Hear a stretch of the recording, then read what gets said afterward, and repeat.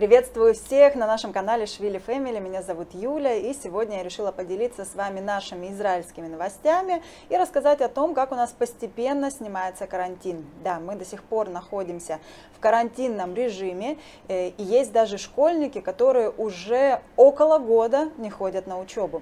На первый карантин мы сели, я помню очень хорошо эту дату, у нас был праздник Пурим, отмечали мы его 8 марта в прошлом году, то есть 8 марта все дети наряжались в детских садах и школах. После двух дней, то есть 10 марта, они должны были вернуться на свою учебу, но на учебу они не вернулись, и нас посадили на долгосрочный, почти двухмесячный, два или три месяца это продлилось, э, на двухмесячный карантин, и потом вот началось такое возвращение к учебе очень постепенное, дети возвращались, снова нас закрывали, при том, что очень много детских садов отдельно закрывались на карантины, так на сегодняшний день закрыт 471 детский сад. То есть это кто-то из персонала или кто-то из детей выявляется положительным на коронавирус, и в соответствии с этим детский сад закрывается. Как я уже сказала, 471 детский сад закрыт и 36 школ тоже закрыты на карантин. Ну вот поэтому вам, я думаю, понятно, как э, выглядело обучение. Выглядело оно, конечно, очень странно. Это было в Зуме. И школьники с 7 по 10 класс год не ходили на учебу. Почему именно вот это вот звено попало вот, вот, вот так вот в Zoom? Сейчас объясню. Э, с 1 по 6 класс это все-таки начальная школа в Израиле считается, и она тоже э, возвращалась поэтапно, то есть обычно это было там с 1 по 3, с 1 по 4, но 5 и 6 как-то к учебе возвращались. С 10 по 12 класс это уже старшее звено, это те дети, те старшеклассники, которые сдают выпускные экзамены, и, конечно, им нужно к этим экзаменам готовиться, причем, что экзамены сдаются поэтапно, поэтому обязательно нужно тоже было было посещать школу хотя бы раз в месяц, да, выглядело это примерно так, раз в месяц они ходили в школу, но ходили. А вот это звено с 7 по 10 класс, вот как-то оно попало между, и эти дети уже год не возвращались к учебе. Год они находятся в зуме. Как это выглядит? Выглядит это, конечно, страшно, устрашающе. Я общалась с родителями вот этих детей. Это как раз-таки самый такой проблемный возраст, подростковый. И вот все это время дети, которые и так в основном были в гаджетах, они просто сейчас из них не выходят, потому что и обучение, и общение происходит там. И там вот первое послабление, школьники с 7 по 10 класс должны вернуться к учебе спустя год. Ура! Еще какие послабления должны открыться кафе и рестораны. Но важное уточнение. В кафе и в рестораны можно будет зайти только с зеленым паспортом. Зеленый паспорт получает э, человек старше 16 лет. Что делать, если мы захотели пойти в кафе с детьми? Ответа пока что ни у кого нет. И сейчас рестораторы добиваются хотя бы того, чтобы можно было зайти с младенцами до двух лет. Разрешение еще на это не получено. Э, решение, которое нашли на сегодняшний момент, что если придут семьи с детьми или просто люди, у которых нет этого зеленого паспорта, они могут э, сидеть на улице.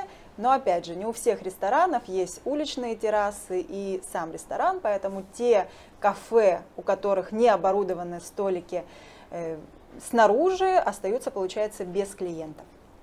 Еще один вопрос, который кажется странным, абсурдным, глупым, что же делать э, с аттракционами, потому что аттракционы тоже начинают работать 7 марта. Но по тем же правилам, как и рестораны, туда могут зайти только люди с зеленым паспортом.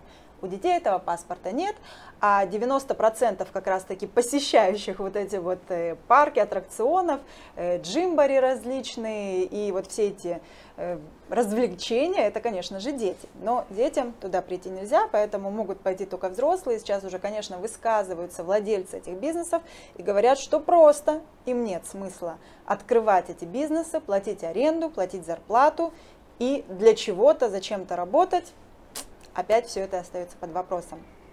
Какие еще нововведения?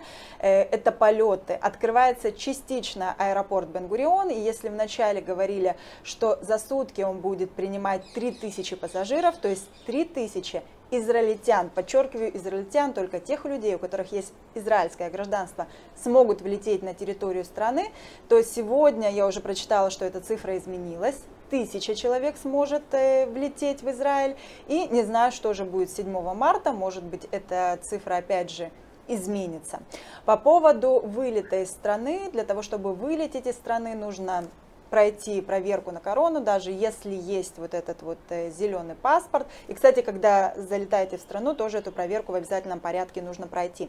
Но если те люди, у которых нет зеленого паспорта, обязаны пойти э, в карантинный бедут, как мы это называем на иврите, и у них раньше была только одна лишь возможность пойти в гостиницу, то с недавнего времени можно пойти и на домашний карантин. Опять же, с подписи человека ему надевают браслет, это электронный браслет, который отслеживает все его движения и, ну, можно сказать, да, следит за ним. Эти данные поступают в определенную систему, и так видно, что человек не нарушил домашний карантин. Пока что непонятно, насколько долго продлятся эти меры и сможем ли мы выстоять э, эти меры, и вообще будут ли бизнесы на самом деле зарабатывать зарабатывать при таких ограничениях, потому что бизнесы уже очень сильно пострадали, особенно это касается э, тех бизнесов, которые связаны с развлечениями, с аттракционами, они не работают уже ровно год. Уже ровно год у нас в Израиле закрыты кинотеатры. Э, совсем недавно, вот э, буквально две недели назад, открылись театры, опять же в ограниченном режиме, концерты, то есть заполняемость должна быть неполная, Посещать эти мероприятия могут только люди с зелеными паспортами. И, конечно, здесь вот существует такое непонятие, а как же те люди, которых нет зеленых паспортов. Обычно это беременные женщины, которые не прививаются, или женщины, например, кормящие молодые мамы, то есть они посещать все эти мероприятия не могут. Итак, Израиль продолжает э, выходить из карантина. Я вам рассказываю о тех новостях, которые происходят у нас в стране. Можете задавать свои вопросы в комментариях, если что-то я упустила. Еще раз подчеркиваю, что въезд в Израиль, мне постоянно задают этот вопрос, когда же смогут заехать туристы. Пока никакой информации на этот счет нет. Пока что могут заезжать лишь люди, э, у которых уже есть израильское гражданство, либо новые репатрианты, при том это не просто купил билет и прилетел. Э, для всего этого нужно попадать либо под квоты, то есть следить за тем ограничением людей, которые, въезд для которых возможен в Израиль.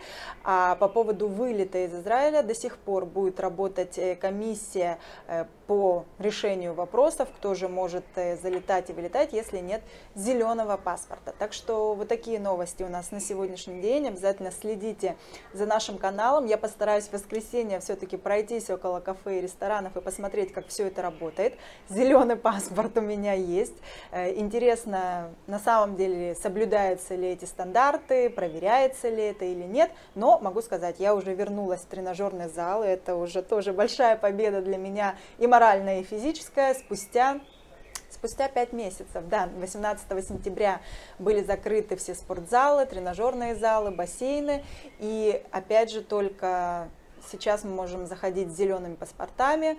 Э, и здесь на самом деле была проверка. То есть мне нужно было заполнить, у нас есть приложение, загрузить туда фотографию своего зеленого паспорта. При входе, опять же, у меня его проверили. На самом деле это я, на самом деле это мой документ. Только после этого мне разрешили войти, в системе отметили уже, что да, у меня есть этот Даркон Ярок, и больше на следующий раз у меня уже спрашивать не будут. Но да, проверяют, и, причем несколько раз. Вот так вот э, действуют все правила на сегодняшний день в Израиле. Ну и, как я уже сказала, следите, будем обязательно освещать темы на нашем канале. До встречи. Пока-пока.